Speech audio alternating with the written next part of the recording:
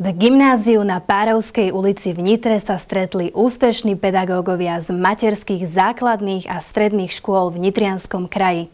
Predstavitelia kraja a ministerstva školstva im udelili ocenenia pri príležitosti Dňa učiteľov. V Nitrianskom kraji každoročne morálne oceňujú pedagógov, ktorí sa výraznou mierou podielajú na príprave budúcich generácií do života. Oceňujeme učiteľov od materských škôl cez základné školy, stredné školy a špeciálne školy, tiež tým pedagógom, ktorí sa venujú mimoškolskej činnosti, či sú to centra voľného času, základné umelecké školy alebo konzervatória. Je to tradícia, ktorá myslím, že je dobre, že sa zachováva a je to naozaj úcta tým učiteľom, ktorí si aj v dnešnej ťažkej dobe tú svoju profesiu vykonávajú s láskou a s úctou a zaslúžia si to. Je to spätné zrkadlo pre mňa. 27 rokov práce učiteľa a 117 rokov práce riaditeľa. Je to morálne ocenenie toho, čo sa nám spoločne podarilo urobiť, pretože práca v škole je tímová práca. Takže poďakovanie patrí všetkým tým, ktorí so mnou spolupracovali, tým, ktorí si výsledky našej práce vážia a cenia.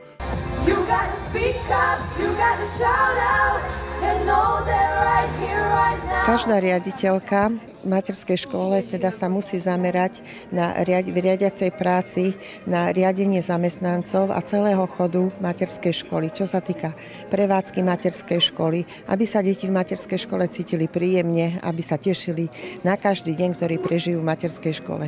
Vo Výčapoch Opatovciach sa to zrejme darí. Svedčí o tom záujem rodičov. Z roka na rok sa nám hlási do materskej školy väčší počet detí, čiže myslím si, že rodičia sú s prevádzkou našej materskej školy spokojní.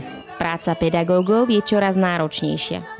Vieme, že tá dnešná doba, hlavne čo sa týka výchovy, je veľmi zložitá, pretože naozaj deti majú rôzne iné možnosti vedomo- získavania vedomostí a rôzne technické vymoženosti ich mnohokrát predručujú k tomu, že si myslia, že ten učiteľ nie je potrebný. Ale naozaj ten učiteľ je ten, ktorý naozaj dáva tie základy do života tomu dieťaťu.